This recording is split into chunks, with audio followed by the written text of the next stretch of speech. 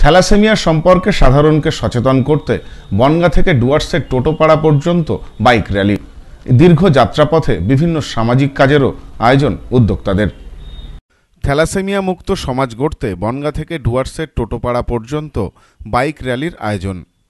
বনগা ভারত সংঘ sporting ক্লাবের পরিচালনায় বারোরপল্লী sporting club ও বারাসতের একটি স্বেচ্ছাসেবী সংগঠনের সহযোগিতায় বুধবার এই বাইক র্যালির শুভ সূচনা হয়। কুড়িটি বাইক নিয়ে প্রায় পঞ্চাশ জন ক্লাব সদস্য রওনা দেন ডুয়ার্সের উদ্দেশ্যে। এদিন বাইক র্যালির সূচনা করেন বারোরপল্লী স্পোর্টিং ক্লাবের সম্পাদক নারায়ণচন্দ্র ঘোষ।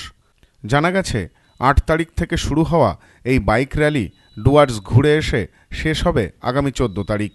আমাদের প্রধান উদ্দেশ্য হচ্ছে জনের সচেতনতা বাড়ানো।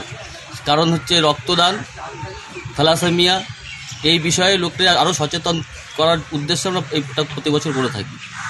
তা এবার আমাদের এর সঙ্গে আরও কিছু প্রোগ্রাম আছে। বনগাঁ থেকে ডুয়ার্স ডুয়ার্সের টোটোপাড়া আমাদের এই র্যালি যাবে। এক সপ্তাহ প্রোগ্রাম এই প্রোগ্রামে আমাদের যে যে স্পটগুলোয় আমাদের বস্ত্রদান থাকছে, সেই সব স্পটগুলো আমাদের এখান থেকে যারা ওখানকার গরিব লোক, আদিবাসী, খেতে পায় না, তাদের জন্য কিছু খাওয়ার দাওয়ারও ব্যবস্থা থাকছে। এই দীর্ঘ যাত্রাপথে সংগঠনের সদস্যরা আলিপুরদুয়ার জেলায় টোটো উপজাতির মানুষের মধ্যে বস্ত্র বিতরণ, উত্তর দিনাজপুর জেলার আদিবাসী মানুষের মধ্যে খাদ্য ও বস্ত্র বিতরণ, মুর্শিদাবাদ জেলার পলাশী গ্রামে একটি অনাথ আশ্রমের শিশুদের মধ্যে খাদ্য ও লেখাপড়ার সামগ্রী বিতরণ করবেন বলেও জানা গেছে। আমাদের এই ক্লাব এদের সঙ্গে থাকতে পেরে আমরা গর্বিত এবং আনন্দিত যে থালাসীমা এবং টোটোপাড়ায় গিয়ে যে মানুষের পাশে বস্ত্রদান করা, মানুষের সহযোগিতা করা বড়পল্লী ক্লাব এরম ধরনের কাজে সবসময় থাকার জন্য এগিয়ে আসবে।